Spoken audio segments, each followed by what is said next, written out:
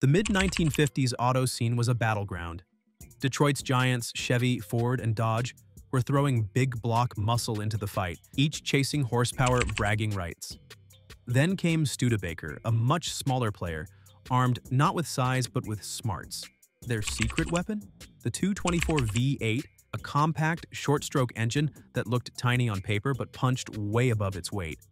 It wasn't built to shatter records. It was built to prove that even independents could stand toe-to-toe -to -toe with the heavy hitters. Smooth, efficient, reliable, and surprisingly gutsy, the 224 carried Studebaker's hopes into the ring.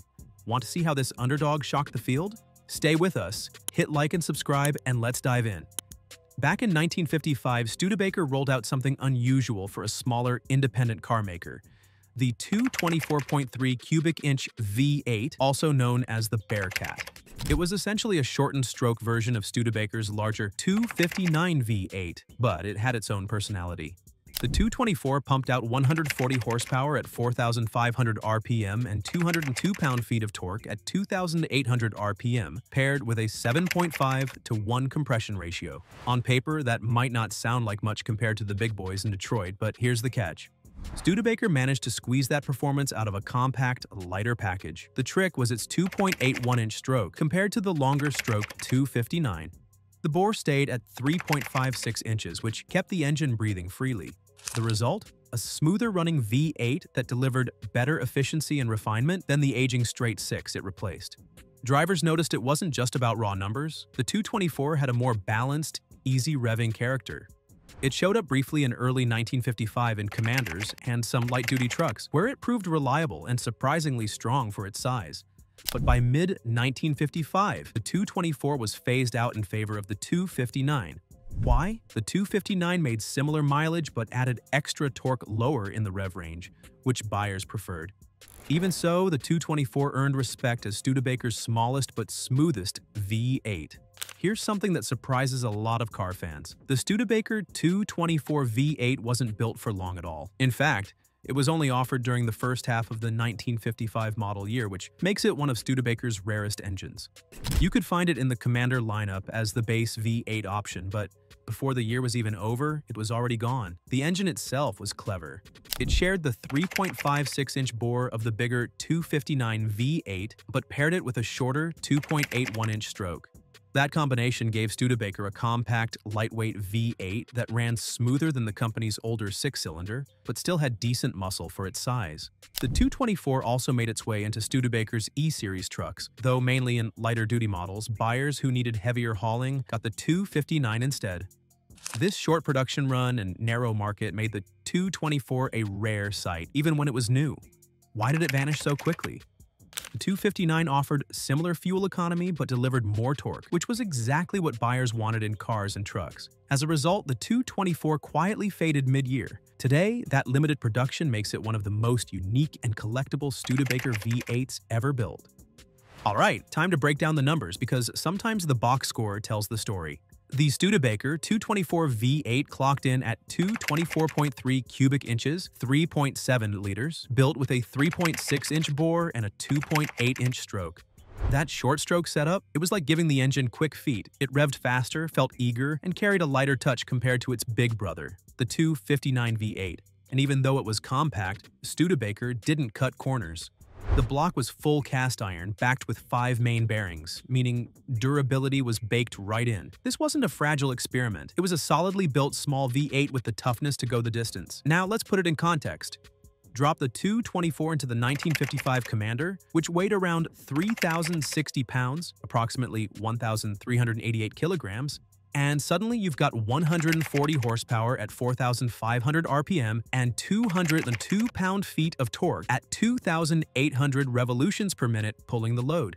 That was enough to keep the car lively and balanced in daily driving. Sure, the 259 had more muscle, 162 horsepower in base trim, but it was heavier and less eager to spin.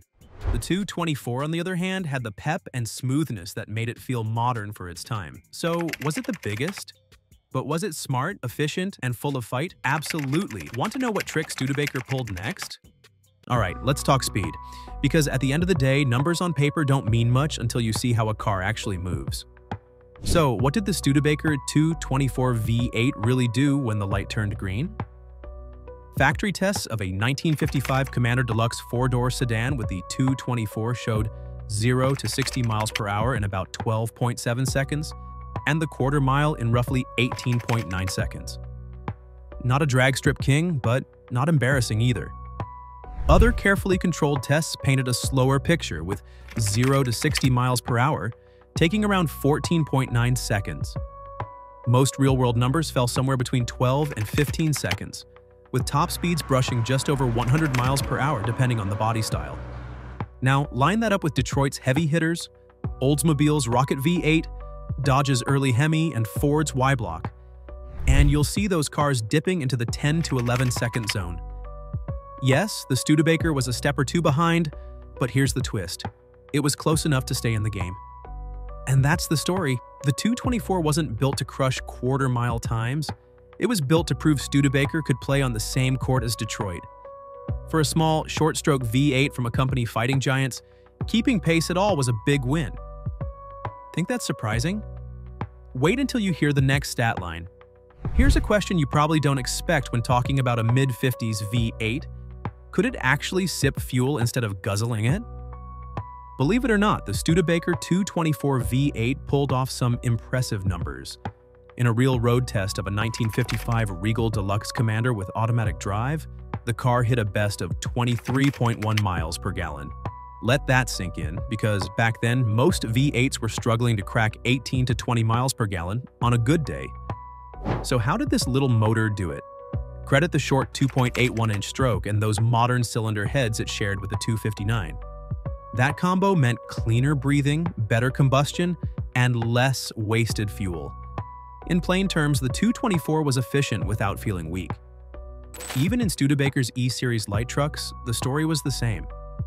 Compared to the old Flathead 6, the 224 not only ran smoother, but often returned better mileage, especially with lighter loads.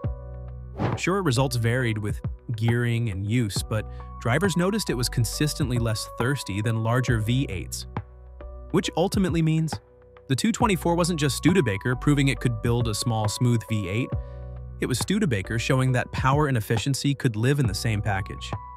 And in 1955, that was almost unheard of. Think that's good? Wait till you hear how Studebaker squeezed even more out of this tiny V8. And here is where things get tricky. Ask 10 Studebaker fans how many 224 V8s rolled out in 1955, and you'll probably get 10 different answers. What we do know is this, the 224 was only built for the first half of the 1955 model year before Studebaker swapped it out for the bigger 259. That short run means it's rare. Really rare. But how rare? That's the million dollar question. Studebaker never published a clear factory breakdown. Some commanders left the line with the 224 and a handful of early E-Series half-ton trucks carried it too. Heavier duty trucks? They quickly shifted to the 259. So depending on who you ask, production was either a few hundred units or maybe a few thousand at most. And that's why enthusiasts are still arguing about it nearly 70 years later. The lack of hard numbers leaves the 224 floating in this gray area, officially mentioned in brochures, yet strangely absent from precise records. This uncertainty has only added to its mystique. While other Studebaker V8s were built in large volumes, the 224 is often called the rarest of the family, except for the ultra-scarce R3 and R4 experimental engines. That mystery makes it more than just a motor. It's a legend, and legends always keep people guessing. Want to know what Studebaker did next to make this little V8 even more interesting? The most fun part about Studebaker was that it didn't put the 224 V8 in some tiny lightweight where it could coast by. Nope. They dropped it into the 1955 Commander, a car with real presence. Think of it. The Commander stretched 202.2 inches long with a 116.5-inch wheelbase. That's no compact. It was a proper mid-size sedan with the proportions to match. And here's the thing, even the lighter two-door coupe tipped the scales at about 3,060 pounds, approximately 1,388 kilograms. On paper, that sounds like way too much for a small V8 to handle. You'd expect it to feel sluggish, right? Wrong. Thanks to its short stroke design, the 224s had a rev-happy personality. It made the Commander feel far more responsive than its size suggested, almost like it was punching above its weight class. That's what makes this pairing so fascinating. Studebaker wasn't chasing sports cars or economy boxes. It was selling a roomy family sedan, then surprising buyers by powering it with the smallest V8 in its lineup. And the crazy part? It worked. The Commander came off as solid and refined, yet surprisingly lively. That contrast, big body, small but spirited engine, is exactly why enthusiasts still talk about the 224s today. It was an underdog matchup that played out better than anyone expected. Think that's bold? Wait until you see how Studebaker kept tweaking the 224 to make it even sharper. The Studebaker 224 V8 was created by shortening the stroke of the 259, giving Studebaker a compact, quick revving engine without starting from scratch. Both engines shared the same 3.56-inch bore, but the 224 used a much shorter 2.81-inch stroke, the smallest in the family. This gave it a smoother, more eager character at higher RPMs, something Studebaker hadn't offered before. But those gains came with trade-offs.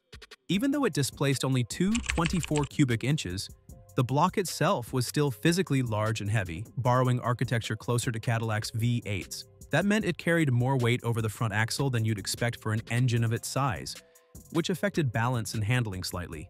Another compromise was in the airflow. Studebaker's conservative valve and port design worked well for durability and efficiency, but limited breathing at higher speeds.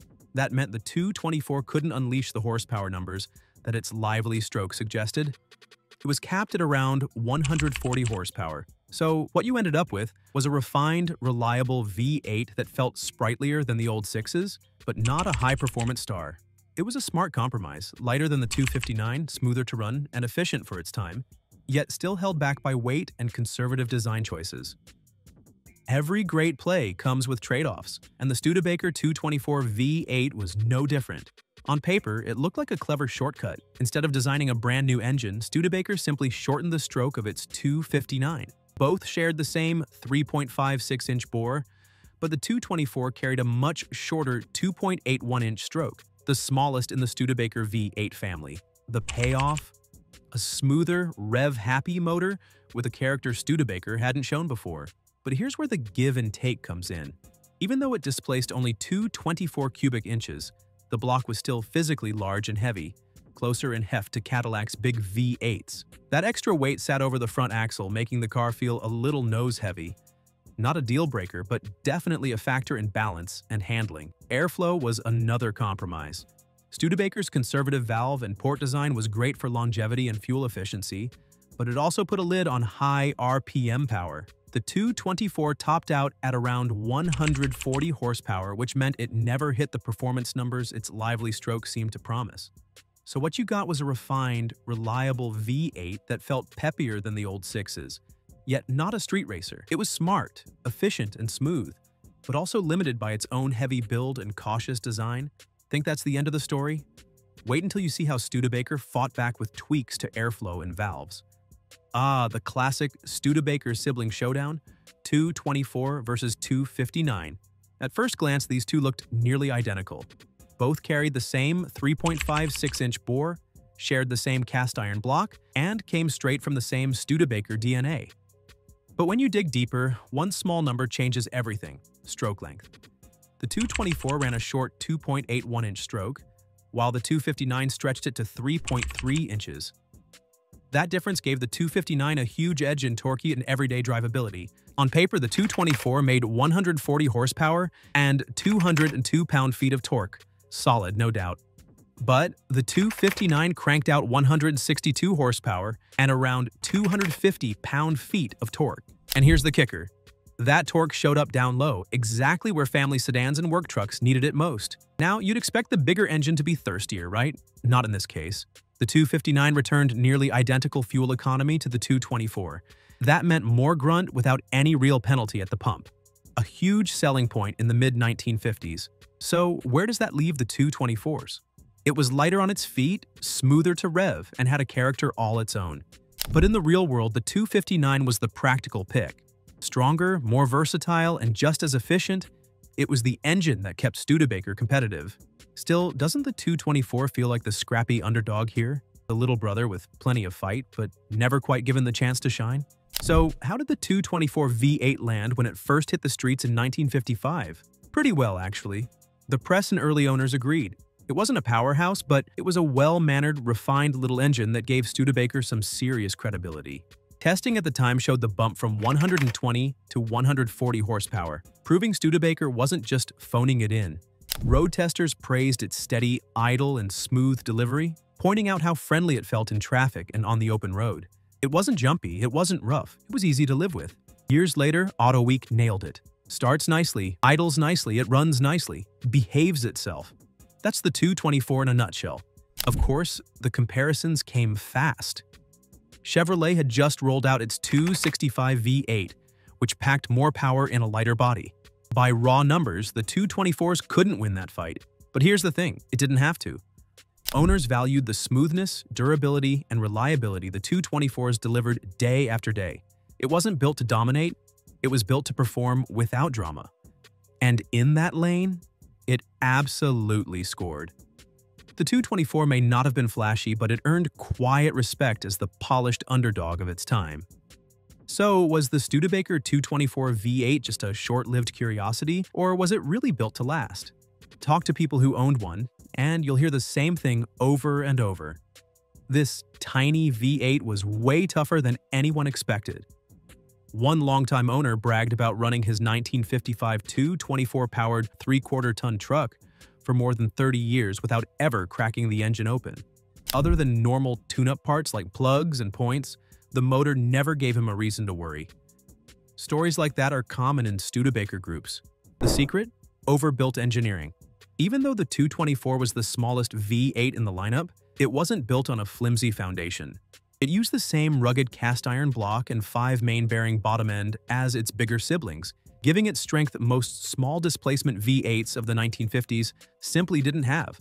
With steady oil changes and careful driving, these engines regularly cleared 150,000 miles, and many pushed close to 190,000 miles before needing anything major.